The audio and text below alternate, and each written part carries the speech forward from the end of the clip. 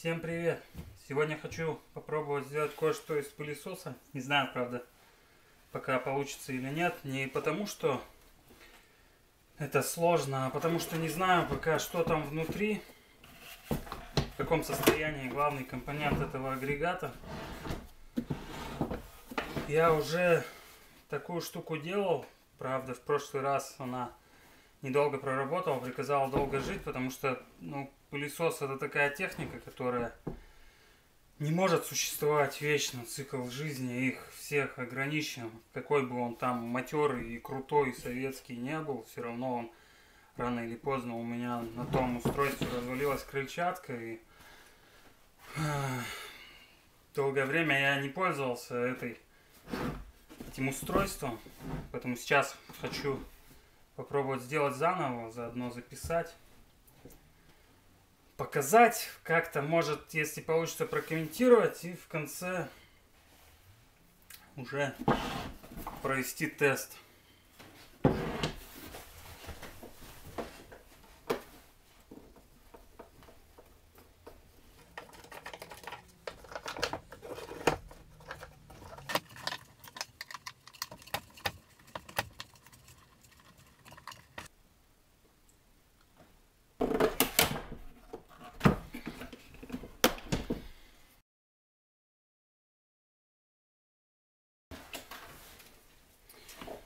Вот была такая бобина для наматывания провода с пружиной. Возможно, тоже может пригодиться, поэтому ставлю ее.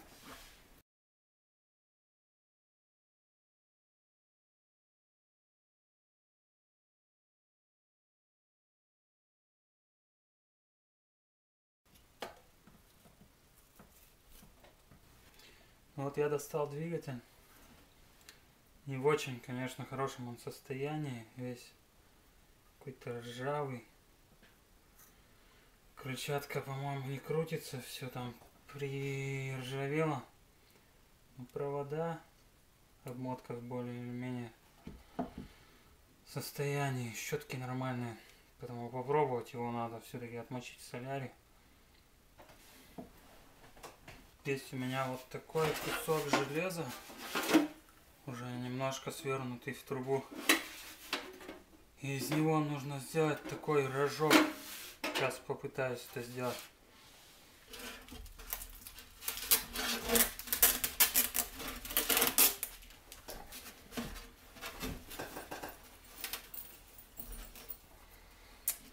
Вот такой конус.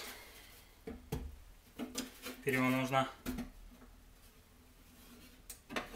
обрезать болгаркой. И потом склепать все заклепочником. Вот что в итоге получилось. Сейчас нужно просверлить дырки, заклепать это все.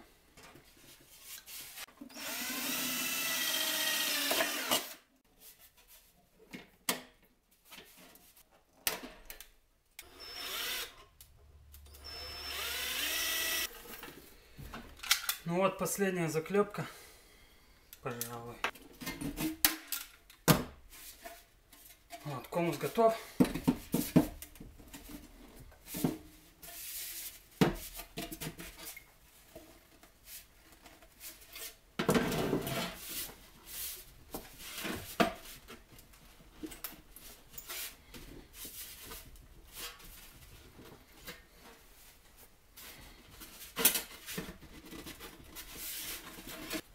Есть вот такая ручка от канистры. Сейчас нужно ее еще сюда приделать.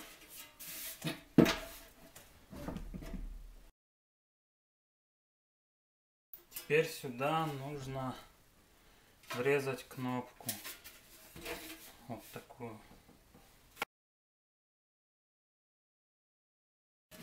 Так, ну подключен провод и кнопка. Теперь осталось подключить двигатель и установить каким-то образом вот сюда.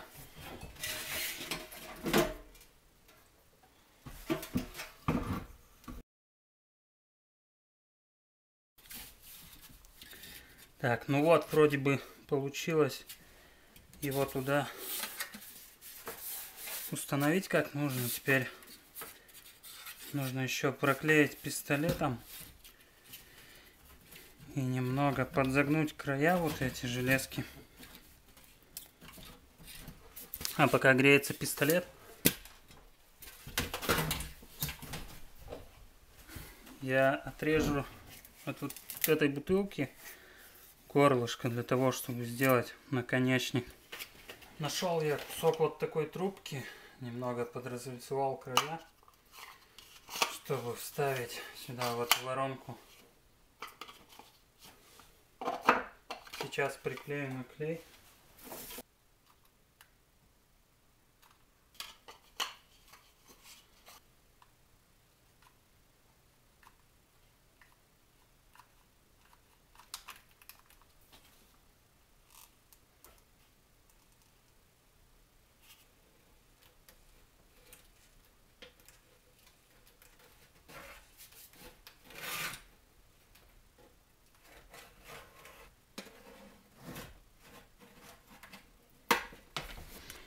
Так, ну и осталось приклеить вот этот носик сюда. Не помню, сказал уже или нет, но тут немаловажно, чтобы вот этот весь поток воздуха, который через него проходит, проходил максимально свободно, чтобы ему ничего не мешало, чтобы путь его был максимально коротким. Потому что изначально вот этот вот двигатель от пылесоса, его крыльчатка, его ротатор, вот этот, они имеют огромный потенциал, который теряется за счет того, что конструкция пылесоса такова, там много всяких изгибов, лишних частей. Ну и плюс ко всему еще фильтра и негерметичность конструкции. Здесь же я делаю все герметично, во-первых. Во-вторых, самая максимально свободная форма это конус. Плюс к тому даже вот эта вот шляпка надевается, а не вставляется. То есть даже в этом месте никаких завихрений. Доделал я эту штуку. Все ее пришлось скотчем с ног до головы замотать для герметичности. Вот так она выглядит. Сейчас нахожусь в цеху. На улице темнота уже, работал весь день до глубокой ночи. С этой ерундой возился, в итоге ничего не вышло. Извините, всем спасибо, до свидания. Шучу, конечно. Все получилось. И сейчас маленько объясню, для чего получилось. Вот во многих цехах, там, предприятиях, каких-то мастерских, даже в гараже у себя, где если есть компрессоры, знают, как удобно как удобно бывает их использую для того, чтобы убрать рабочее место, там куда-то подлезть, куда не достать невозможно там какой-то щеткой сметкой. И очень бывает необходимо прямо таки струя воздуха. Так вот, вот это вот простое приспособление даст фору любому компрессору, если, конечно, он не является там промышленным каким-то сверхпроизводителем в масштабе там целого цеха заводского. В силу того, что у него вот, ну, как бы давление, ну, хватает давления для того, чтобы удалять там, ну, я не знаю, достаточно такие жесткие загрязнения, прям засохшую грязь какую-то промасленную. И тем не и при этом скорость потока даже, наверное, выше, и она не прекращается, не изменяется от того, что там компрессор он выключается, включается. Ну вот, сейчас, сейчас продемонстрирую. Ну вот, например, опилки, по которым тут рамщик ходит, прессует их своими ногами. Включаю.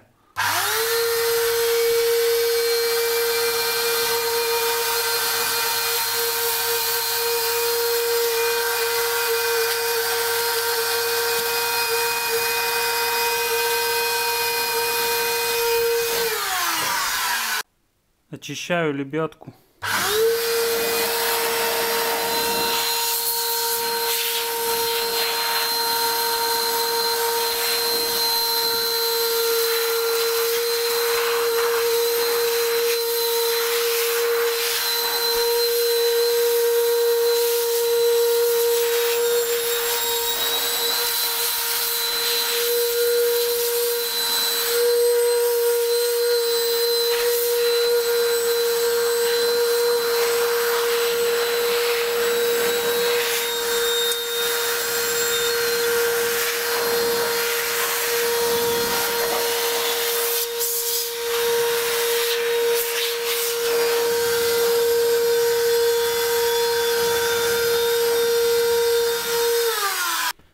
Очищаю роллингом.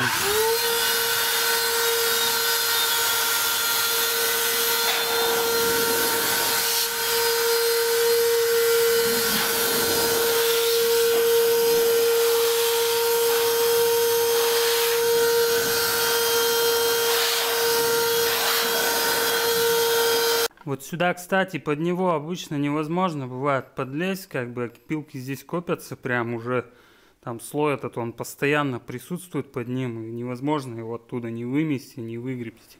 Сейчас попробую сделать этой хреновиной.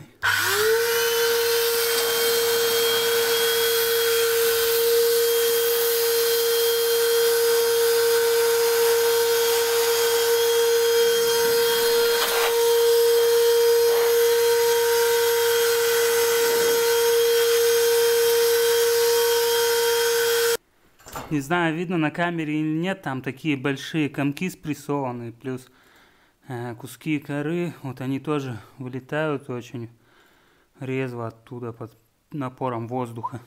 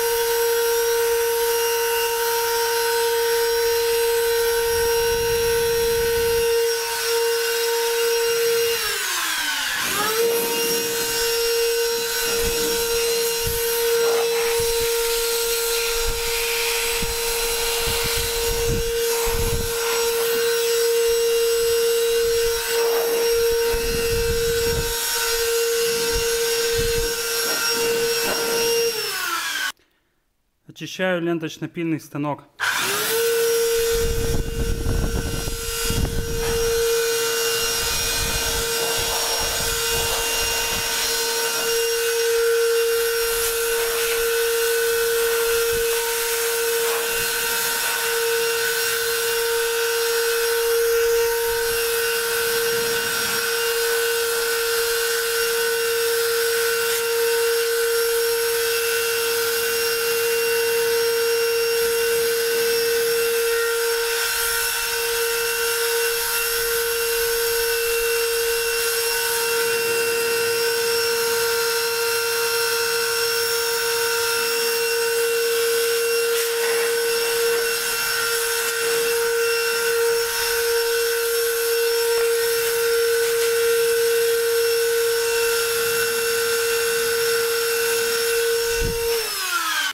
Перчатки сдул. Сейчас покажу поток воздуха на ладони.